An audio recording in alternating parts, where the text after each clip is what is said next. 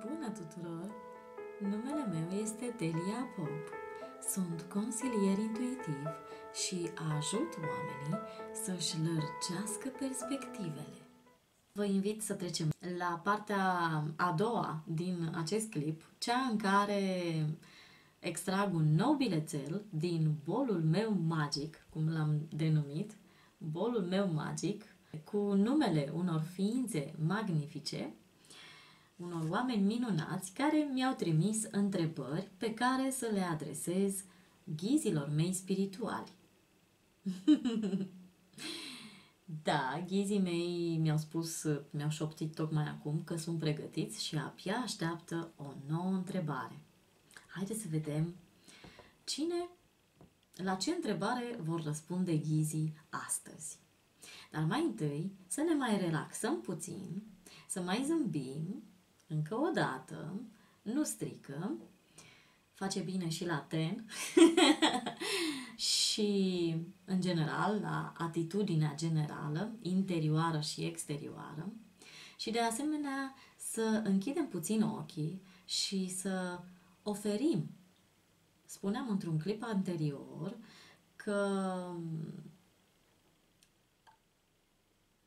am acceptat provocarea oferită de mesajul intuitiv din acea zi, provocarea de a petrece 30 de zile consecutive în care să ofer câte ceva. Să ofer câte ceva. Și iată că vă invit să continuăm această provocare și să oferim puțină dragoste, gânduri bune, energie pozitivă, speranță, bucurie, încredere, gânduri de succes, realizări acestor persoane ale căror nume sunt aici, nouă înșine, tuturor și tuturor persoanelor din întreaga lume.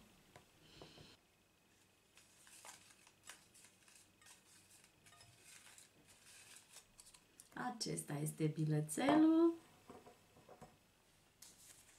Să vedem cine este Ela Mag. Ela Mag.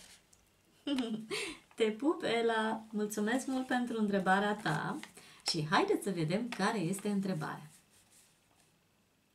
Ce trebuie să facă pentru a continua să evolueze? Ea a ajuns la un anumit nivel de evoluție și acum stagnează. Se simte blocată, ca și când nu poate trece mai departe cum să continue să evolueze și să nu se mai blocheze. Ce trebuie să facă pentru a continua să evolueze? Simte că a ajuns undeva unde stagnează, se simte blocată și cum să continue să evolueze și să nu se mai blocheze.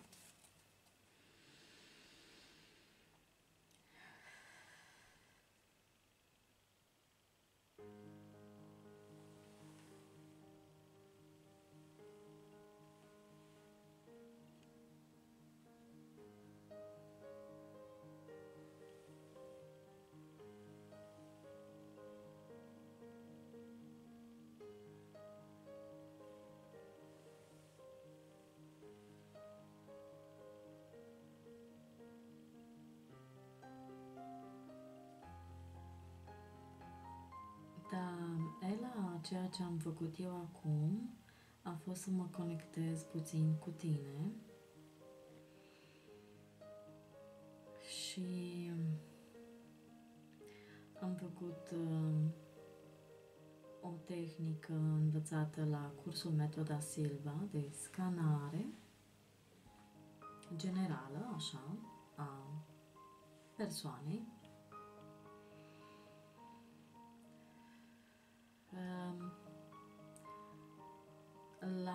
tine mi-au apărut ehm, trei secțiuni importante. Zona capului, zona gâtului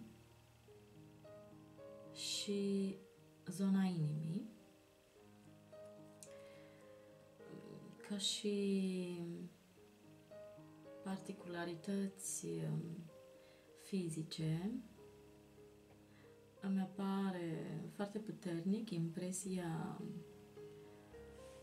unui păr ușor ondulat, cumva așa în valuri ușoare, bucle ușoare, un fel de șaten mai deschis.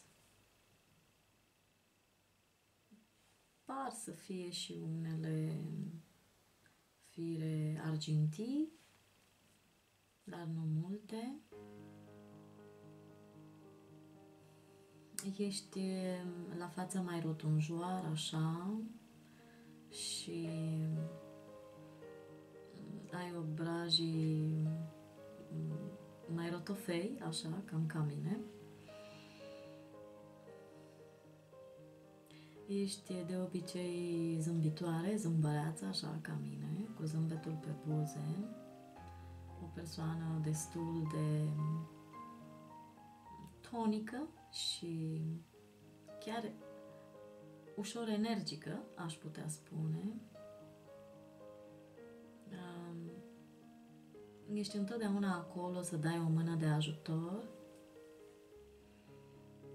să ajuți unde trebuie, să faci ceea ce trebuie, să pui umărul, ești dornică să ajuți.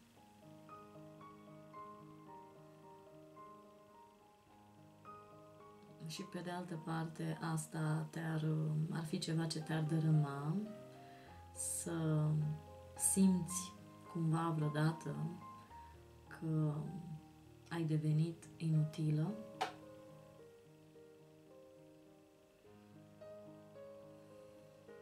Acum, legat de zona capului,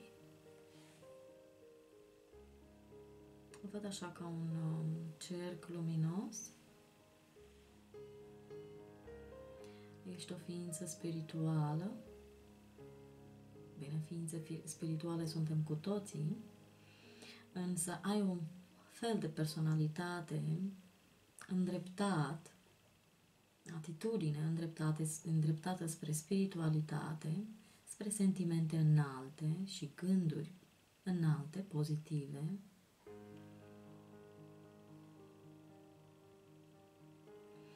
însă observ uh, mai multe ca niște pete, da, negre, uh, pe care o să le denumesc blocaje, uh, chestii care te țin pe loc, să le zicem programe limitative, da? Este unul mai important aici, în partea dreaptă, are legătură cu creativitatea. Nu te simți creativă sau ai vrea să fii mai creativă, simți că ar trebui să fii mai creativă. E ca și când ți se cere asta, o vezi ca și când este o necesitate și te blochează chestia asta că de ce nu pot să fiu și eu mai creativă sau cum să fiu și eu mai creativă să-mi dezvolt imaginația, să, să fiu mai imaginativă, vizuală.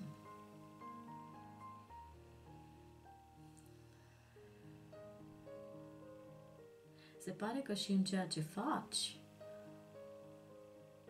o calitate importantă este aceea de a fi creativ și deci asta te blochează și mai mult faptul că ți se cere asta, e nevoie de acest lucru. Acesta este un blocaj care spun ghizii mei că te ține pe loc. Ar mai fi unul aici în partea stângă, pare mai mare. Este o teamă E mai mult ca un fel de fobie.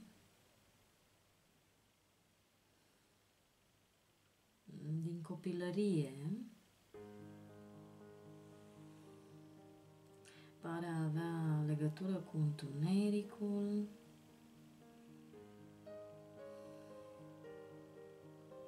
Cu ce se întâmplă când e întuneric, ce apare, că apar chestii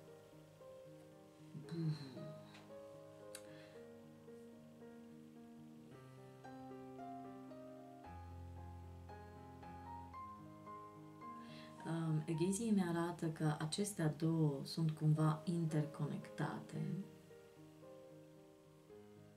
În momentul când eliberezi teama de ce apare când se lasă întunericul, la figurat sau la propriu,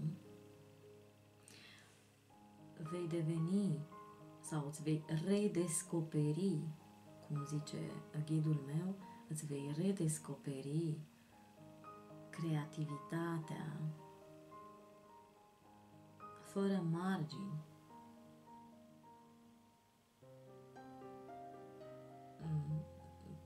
pe care o ai la îndemână.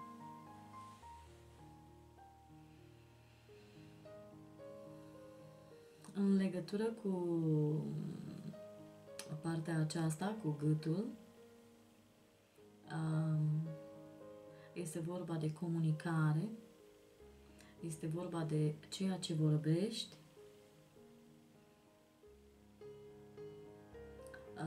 de multe ori simți nevoia să spui lucrurilor pe nume, să spui ceea ce gândești, însă de multe ori alegi să ții pentru tine, datorită conveniențelor sociale, datorită unui spirit de diplomație, să nu deranjăm, să nu deranjeze adevărul.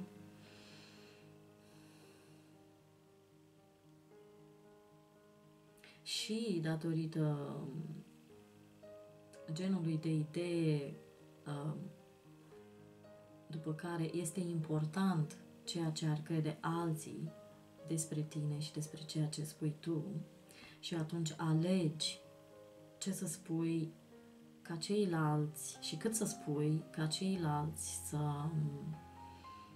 uh, să poată să-și păstreze o părere așa cum ți se pare ție, că li s-ar părea lor ok să o aibă despre tine.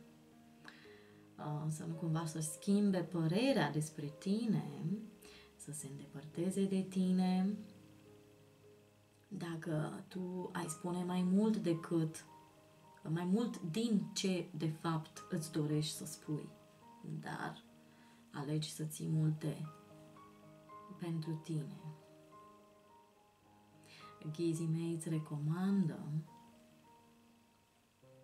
să deschizi mai mult acest canal de comunicare, să exprimi, să-ți dai voie mai multă libertate în a exprima tot ceea ce simți să exprimi, așa cum simți să exprimi, atunci când simți să exprimi acel lucru. Indiferent că va da greș sau va fi corect, că va crea impresii plăcute sau mai puțin plăcute, că va da naștere unor reacții plăcute sau mai puțin plăcute în ceilalți, în jurul tău, ei îți recomandă să începi să exersezi această eliberare de comunicare a ta. Acest lucru îți va deschide multe porți spre a observa mult mai multe lucruri pe care în sinea ta le gândești, însă ți este teamă să le observi. Însă să le observi va fi un pas important. Să fii față în față cu ele și să le poți observa. Va fi un pas important pentru tine care te va ajuta mult. Și inclusiv este legat și de celelalte două blocaje, programe de care spuneam mai devreme. Secțiunea a treia era zona inimii.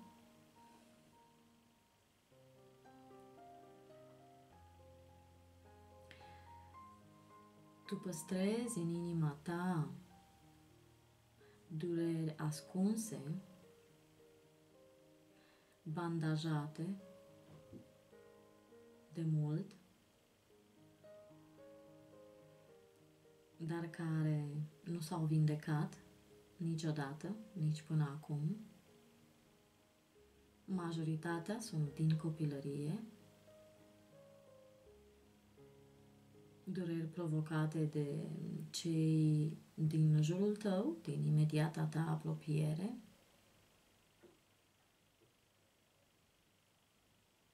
nu le-ai adresat, nu ai încercat să le rezolvi, de teamă, aceeași teamă, de a nu supăra, de a nu, nu crea conflicte mai mari, de a încerca să menții o pace care este de fapt un dezechilibru în defavoarea ta. Ți se recomandă să încerci să faci pași mici, dar hotărâți spre a restabili acest echilibru. Aceasta ne însemnând că recomandarea este să începi să creezi conflicte, să te cerți și să arunci vorbe grele sau învinuiri unuia și altuia, ci din potrivă să mergi cu încredere în interiorul tău,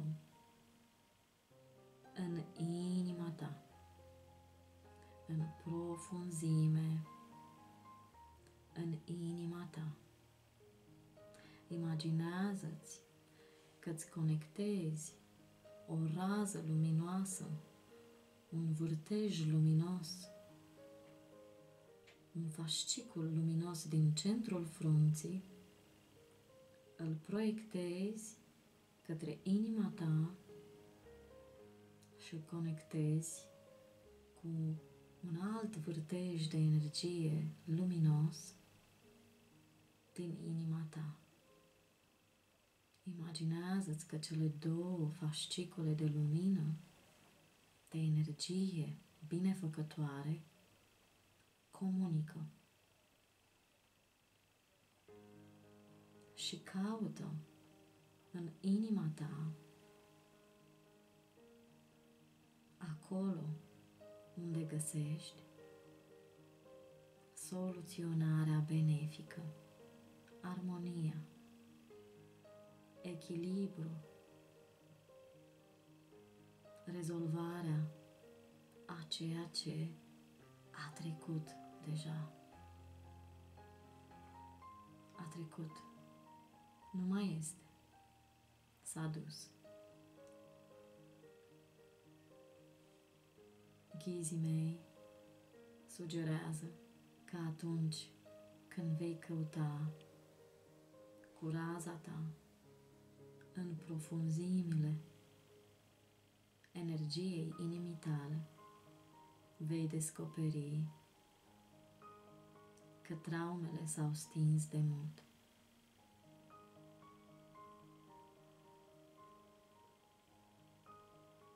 Și că ceea ce încă rămâne nerezolvat este faptul că au rămas acolo, în mintea ta și în câmpul energetic al inimii, inimii tale, fantomele acelor traume, acelor experiențe care întunecă câmpul energetic al inimii tale.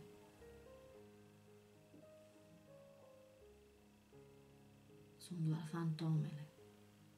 Traumele s-au stins. Privește în profunzime simte cu energia inimii și vei descoperi vei descoperi că totul s-a dizolvat în energia caldă a iubirii.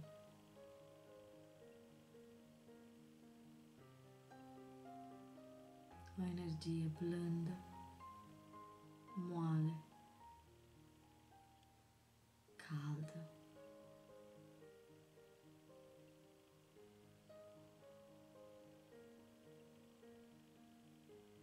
îți mai sugerează să folosești puterea acestei energii blânde, calde, a iubirii din inima ta, să o folosești pentru a dizolva orice alte blocaje, toate celelalte de care pe care ți-au fost amintite acum aici și orice alte obstacole, blocaje care ar exista în afara lor, în afara celor amintite aici. Infuzează în întreg câmpul tău al corpului fizic, al corpului energetic, al corpului emoțional, al tuturor aspectelor corpului tău și ale ființei tale. Infuzează energia caldă, blândă, binefăcătoare din inima ta.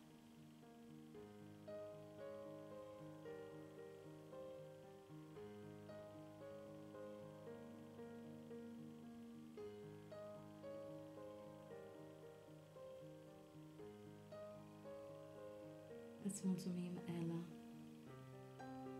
și vă mulțumim tuturor celor care veți alege să faceți același lucru. Să redescoperiți energia caldă din inimile voastre și să transmutați orice vă blochează drumul să-l transformați din întuneric în lumină. Din teamă în iubire. Din frig în căldură.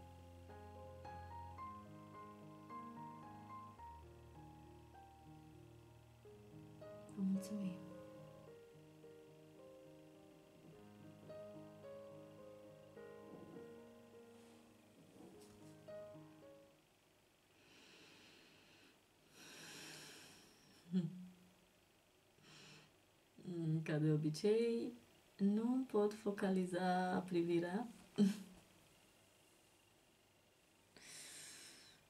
ah. Wow!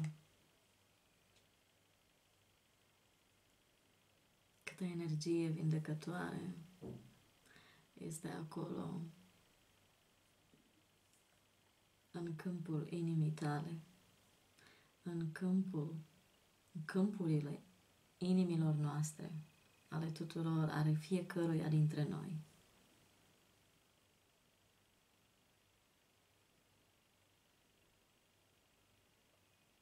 Și parcă mesajul spunea ceva de să rugăm legea atracției să ne spună ce ne blochează. 52 să-ți explice în ce fel te autosabotezi. Wow! Iată că ne-a oferit răspunsul. Ghizii ne-au oferit răspunsul. Poate că voi vă, vă spusese ceva acest, acest mesaj de astăzi, însă mie recunosc că încă nu mi se transmisese